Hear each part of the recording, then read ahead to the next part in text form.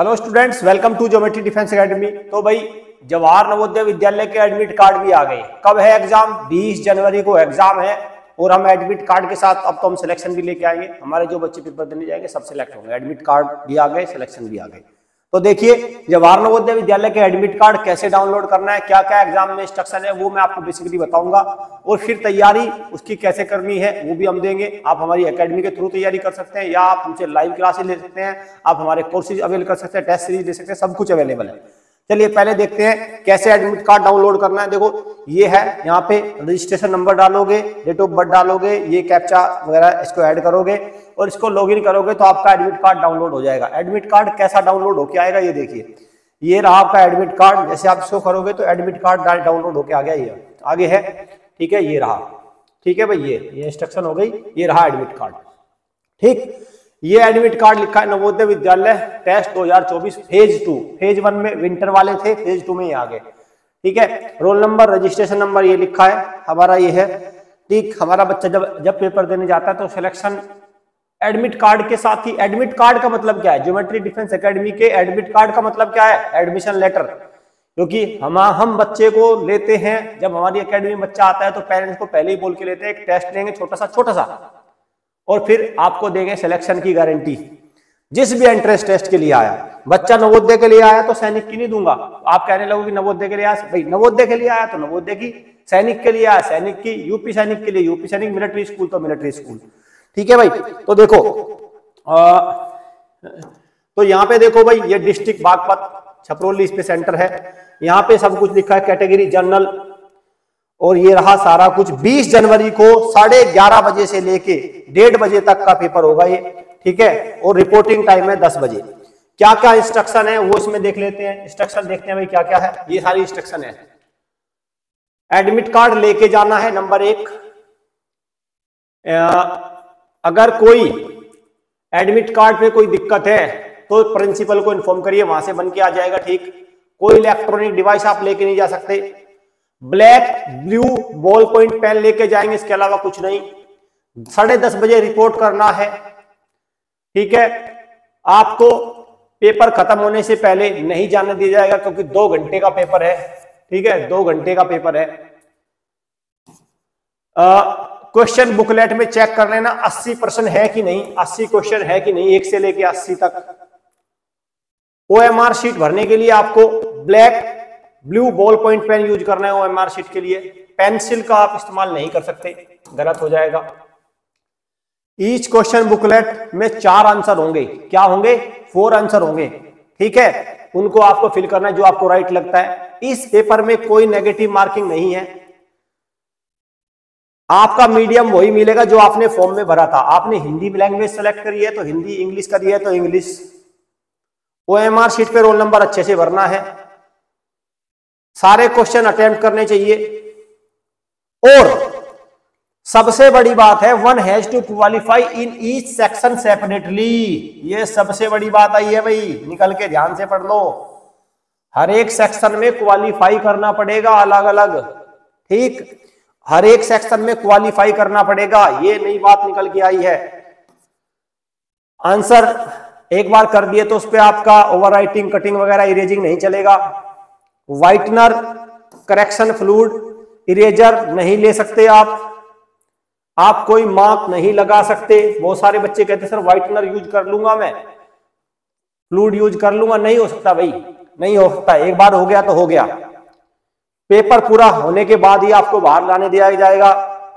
आपको आधार कार्ड, जो भी residence certificate identity and any proof the date of birth support in the information provided आपको क्या क्या लेके जाना है? देखिए, आधार कार्ड लेके जाना है, या कोई गवर्नमेंट रेजिडेंस सर्टिफिकेट लेके जाना है, या आप date of birth proof certificate कोई ना कोई लेके जाएँगे स्कूल का, जैसे होता है टीसी वगैरह।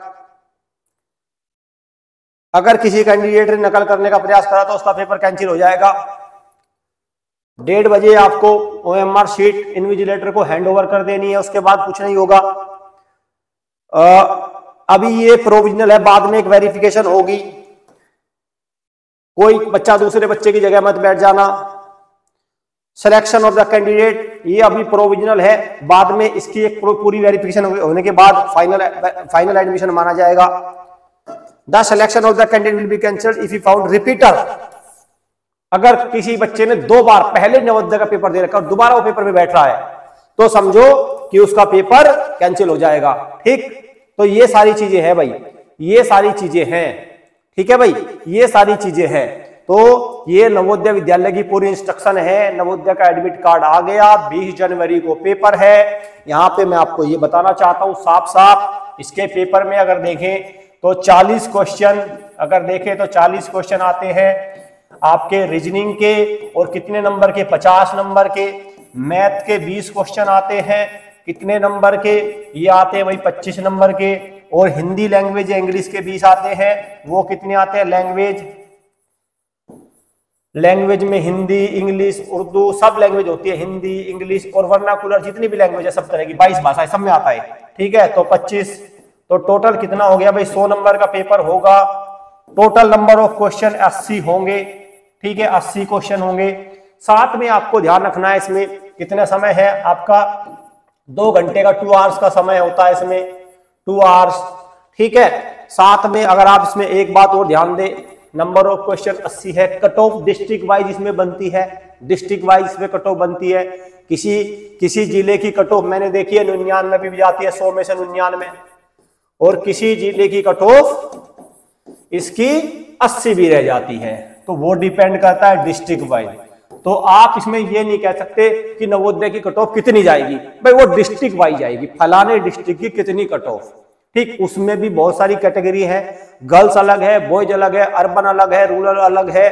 एस सी जनरल सारी चीज़ें हैं, ठीक है? अर्बन रूरल में भी कई कैटेगरी है, दिव्यांगजन अलग है, सब चीज़ अलग है इसमें, ठीक? इन चीज़ों का आपको ध्यान रखना है। अब नवोदय की तैयारी कैसे हो? भाई, नवोदय की तैयारी का सबसे बेस्ट कोर्स है हमारे प्लेटफॉर्म पे, उसको अवेल कर लेना नंबर में लिख रहा हूँ nine five two double eight two seven one two one इस पे व्हाट्सएप मैसेज करना।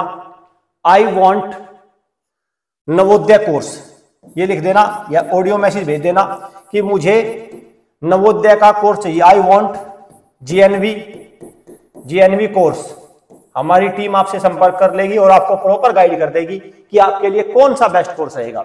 इस नंबर को डायल करना डायल करके डायल मत करना। मैं तो कहता हूँ मैसेज छोड़ देना WhatsApp our team will contact you ठीक है? हमारी टीम जो हमारे मैनेजर वगैरह, जो हमारी पूरी टीम होती है गाइड करने वाली, जो काउंसलर होते हैं, वो आपसे बात कर लेंगे। आपको प्रॉपर चीज़ें गाइड कर देंगे भी आपके लिए ये कोर्स है। ठीक है? कोशिश हमारी रहेगी सैंपल पेपर लेके आने की इनकी। अगर वो ऐसा कर पाए तो और भी बेस्ट रहेगा। उसको भी अवेल कर लेना। 20 जनवरी को पेपर हो ही रहा है। जुट जाओ, मुझे तो लगता नहीं भाई। अब कुछ ज़्यादा समय रह गया है। कर दो इस पेपर का काम तमाम, और क्या? नवोदय विद्यालय, आपको पता है, नवोदय विद्यालय में पढ़ने के लिए कितने पैसे लगते हैं? इतने। कितने लगते हैं? इतने पैसे लगते हैं। नवोदय विद्यालय में छह से लेके बारह तक पढ़ने के कितने पैसे लगते हैं? इतने। ठीक है? इतने पैसे लगते हैं, छह से लेके बारह तक। ठीक? किस किस लेवल की पढ़ाई होती है? सीबीएसई कैसी होती है? इंग्लिश मीडियम कैसी होती है इंग्लिश मीडियम ठीक? सिलेक्शन बच्चों का कितना होता है? आगे बच्चे कितने बैठ बढ़ते हैं? सारे बच्चे कामयाब होते हैं ऐसे ही पढ़े हुए। बहुत बहुत सक्सेस रेशियो नवोदय विद्यालय कम मत आकना किसी से भी। ज़ीरो रुपए लगेंगे, छह से बारह तक बेस्ट एजुकेशन मिलेगी, ये है नवोदय। ज़िले में बच्चा पढ़ेगा, वहीं पे रहना, खाना, सब कुछ खेलना, कूदना, सब कुछ फ्री होता है। ठीक है?